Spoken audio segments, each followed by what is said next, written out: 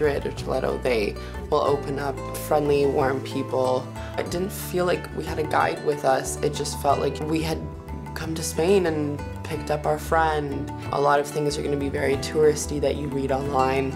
So having a guide is great because if you hear, I always hear of things that I want to check out and I'm kind of disappointed after. It's a question of being with locals. And if you are just visiting, you probably will miss a lot. For example, these kind of experiences, which are not in any books. I feel like the hospitality in Madrid is very welcoming. You feel like you're at home. People have more of an open dialogue here, and they welcome you right into the city. We like living, and living means for us going out. Food for us is quite important. Looking forward to some great tapas. What is life? Food, friends, wine. What more do you want? I do like the idea with tapas. It's so good. It's incredible, so amazing. I love it. I honestly don't want to leave. The streets are beautiful. People are so friendly. The food is great. Wine is great. Like, I legit don't want to leave. So you have uh, hundreds of options in many gin bars. So you have specific gin bars in Madrid and even gin tastings. They make the best gin and tonics here. And it's not just gin and tonic and ice.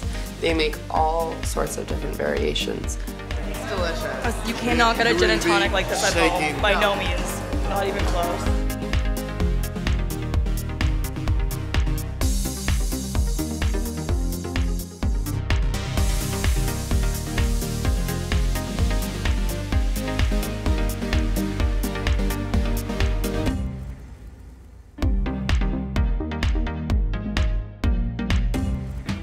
This is Javier, this is Toledo local guide, and now we are in, in front of the old town of Toledo, in one of the most famous places in town to eat churros with chocolate, especially during winter.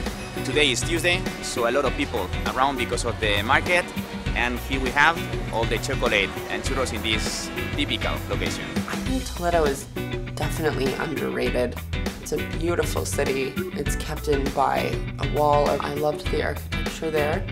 It's quite incredible how they live there. It's almost something out of a movie. The tiny streets, you know, the laundry hanging, the terraces, the walls are so close together. Well, I'm just looking to try the local wines, some cava and some from the, I believe it's the Rioja area. Visiting a winery here was quite interesting. It's very different from visiting one in North America. It's like a small family and um, it makes such a difference.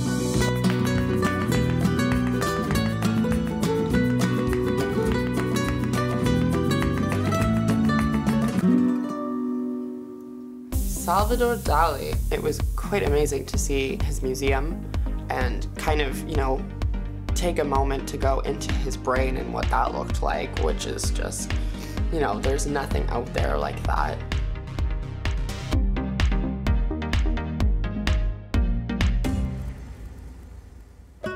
We went down to the beach, which was amazing. You know, I met so many new people, new friends that I would consider family now.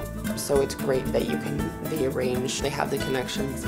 I would definitely say it's worth the investment. Any expectation that I've had, it's been exceeded.